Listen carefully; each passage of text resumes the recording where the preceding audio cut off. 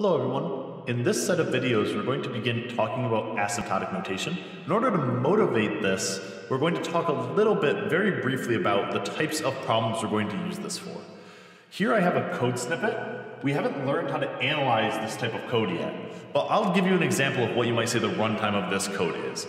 If you notice, there's a variable in the bounds of these loops. They go from n to 3n squared plus 4n and so on. Those involve n's. We want to be able to say how long does this take as a function of n. So we're going to let t of n be the runtime with an input This is the way we'll typically define something like this. Again, we're not going to talk about how you find this, but you might be able to later in this class compute that the runtime here looks in like some constant times 7n plus 3 times 3n squared plus 3n plus 1. You can, might be able to identify how I came up with such an expression like this by trying to find out how many times those loops run.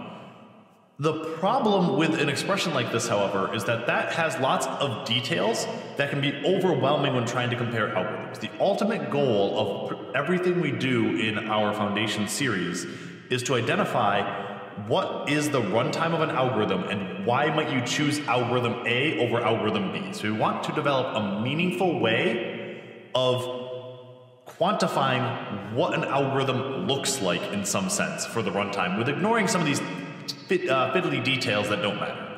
In practice, you only really care about the runtime for this variable if the variable is large.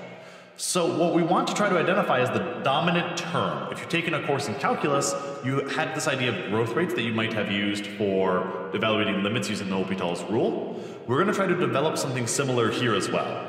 So our goal is going to be able to identify what does this thing look like. So it looks like we have a constant times 7n is definitely the biggest thing in that first set of parentheses, and 3n squared is definitely the biggest thing in that second set of parentheses. So it looks like, in some sense, c times 7n times 3n squared, which is 21cn cubed.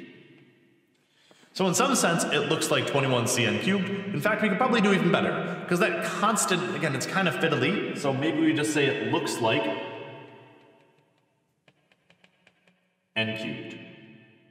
That is our ultimate goal, to be able to sweep under the rug all of those constants and lower order terms, things that are less important, and identify what is the one most important thing in that entire expression.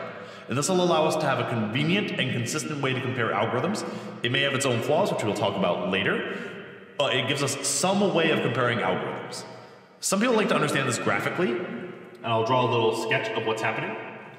So we often, when finding the runtime, will find some ugly, messy looking function. And has some weird shape. However, we might be able to say it kind of looks like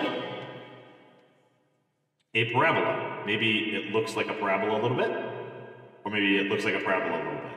Or we're going to try to quantify that idea of looking like another function. We will accomplish this by bounding the function in some sense, and we'll see our definitions for that later.